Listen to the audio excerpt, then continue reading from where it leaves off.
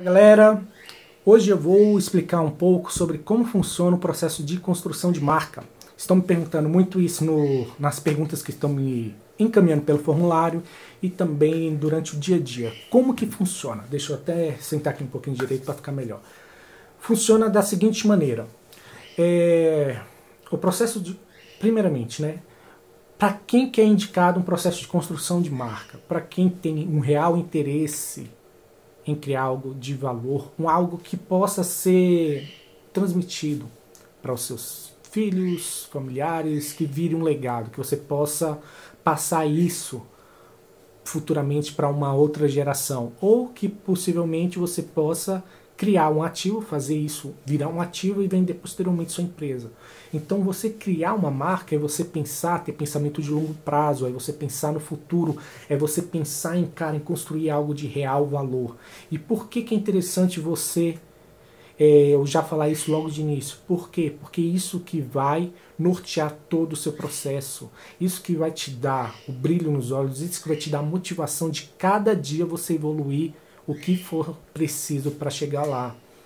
E é esse é o background de, da construção de marca, né? Você tem que ter essa motivação, você tem que ter esse pensamento e ter a real preocupação de que o que você tem é, tem um valor, ele é único. E tendo isso em mente, cara, você vai lutar para que aquilo que seja único possa ser transmitido para um número maior de pessoas, ou que seja somente para um número mais restrito, mas que você vai entregar aquilo com uma excelência, aquilo de uma maneira que nenhuma pessoa entrega, mostrando ali a sua identidade, a sua assinatura naquilo.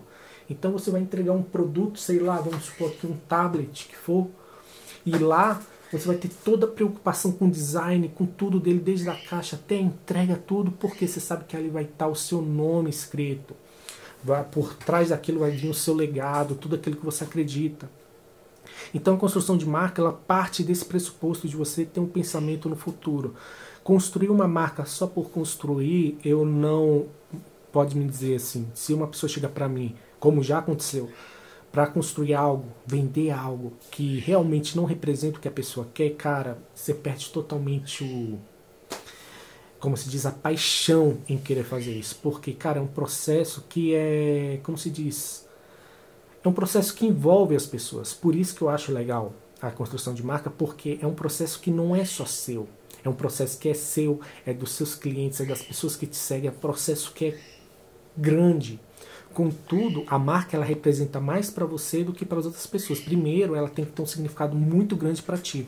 Depois, significado para as outras pessoas, mas para ti ela tem que ser forte, porque você vai ser a única pessoa que vai estar todos os dias olhando para aquele nome, para aquela logo, para aquele slogan, para tudo aquilo. Então, se ela não representar nada para ti, cara, não vai fazer nenhum sentido você dar continuidade com isso. Então você pega naquele momento a empresa que já não tem sentido para você e vende. Cara, é a melhor coisa que você faz, tanto para as pessoas que estão te seguindo quanto para você mesmo. É duro dizer isso, mas é o que eu acredito, é o que eu defendo. Então, assim, se você quer construir uma marca, cara, se envolva inteiramente, esteja de corpo e alma, tenha, como se diz, tenha essa paixão fluindo dentro de você em mostrar esse algo único que tu tem, que você pode mostrar para as pessoas e que você deve mostrar para as pessoas. Então, partindo desse pressuposto, tendo essa mentalidade, quais são os passos? Primeiramente, o autoconhecimento, que seria assim, eu falo autoconhecimento, mas é, por exemplo, você conhecer os motivos pelo qual você está criando aquilo. Que aí você vai começar a entender a sua história. Você começa a escrever a sua história. Então, cara, por que que eu estou começando a fazer isso? Vamos supor, por que que eu comecei a trabalhar com essa parte de construção de marca? E aí você começa a se questionar e você começa a trazer os elementos norteadores, os elementos motivadores que te levaram a fazer aquilo e que vão te dar um apoio naqueles momentos que quem é empreendedor, que quem já está começando, já sabe que tem dias que você olha assim, cara, você não está querendo fazer nada. E aí, esses elementos que vão, você vai olhar para aquilo e vai falar, cara, não, eu tenho que fazer o que eu tenho que fazer porque isto vale a pena. Isto vale a pena. E é isso que esses são os elementos motivadores, a sua história. E aí você vai olhar para isso e isso vai te nortear. Então você vai ter que ter esse autoconhecimento, voltar e entender, cara, por que, que eu faço isso da maneira como eu faço? O que me motivou a começar? É, o que está me motivando hoje a continuar? É realmente isso que eu quero, tudo, e você vai trazendo esses elementos. Então esse primeiro momento seria para alinhar isso ver um pouco da sua história, o que está te motivando, o que que você acredita, que aí a gente vai começar a falar dos seus valores, falar um pouco do seu das causas que você tem, das causas que você defende. Então a gente já começa a falar de uma outra, já vai para um outro patamar, um outro nível, que é a parte onde a gente vai começar a criar mais conexão com o possível cliente, que as pessoas gostam de se conectar com pessoas que têm valores próximos do dela, pensamentos próximos do dela, que lutam por causas parecidas. Porque vamos supor, no, se eu defender uma causa, vamos supor que eu defendo uma causa do veganismo.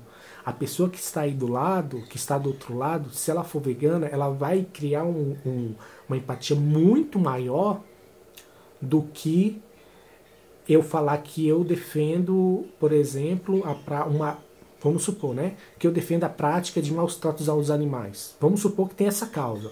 E aí, provavelmente, pessoas veganas que vão pegar, vão olhar direto, direto para isso, vão rebater, vão ser pessoas que eu vou praticamente, pode ser meu público, eles podem querer em algum momento adquirir, mas ao, ao eles verem essa causa, eles vão se sentir repelidos. Então eles se sentem repelidos. Pessoas que também vão defender é, os animais, tudo mais, proteção aos animais, eles também vão se sentir repelidos e vão até lutar contra a sua empresa.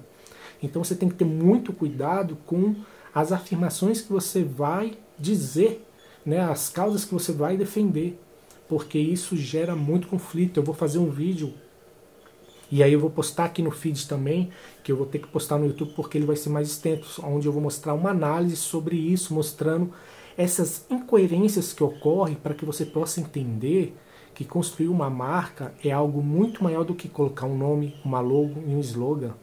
Cara, é você criar algo muito grande porque você impacta pessoas. Você vai estar tá lidando com muitas vidas, não só as vidas da sua empresa, das pessoas que estão na sua empresa, das famílias que estão ali te ajudando a crescer aquele negócio, mas das pessoas que estão te seguindo. Então é algo muito grande. Então esse primeiro momento seria essa parte de você criar, né, compilar tudo isso.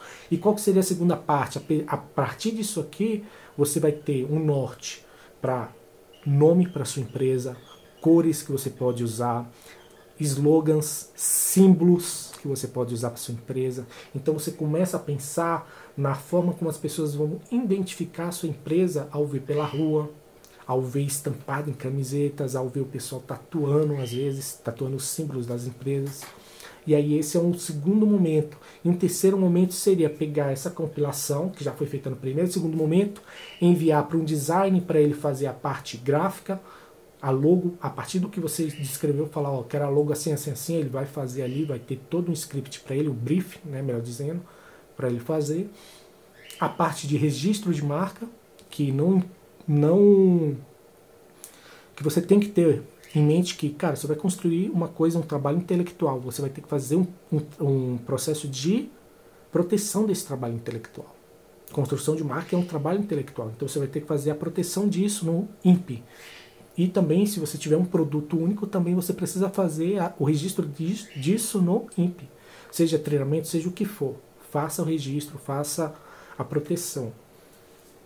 E aí depois disso, perdão, e aí depois disso é trabalhar isso em todas as redes, em todos os canais que você utiliza para ter consistência. Então você vai trabalhar diariamente a sua comunicação, o seu relacionamento, as suas, os seus posts, os seus produtos, a forma como você se apresenta. Tudo isso você vai ter que trabalhar de uma maneira que esteja coerente com a marca que você construiu. E aí, depois disso, é consistência.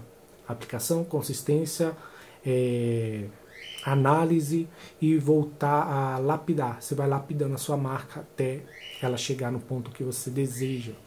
Ok? Então, esse é um, um overview, né, uma visão macro de como seria uma construção de marca, né, passando por esses pontos. E funciona mais ou menos dessa forma, ok? Eu vou fazer um próximo vídeo, vou colocar o link e espero vocês lá. Um grande abraço e até mais. Tchau, tchau.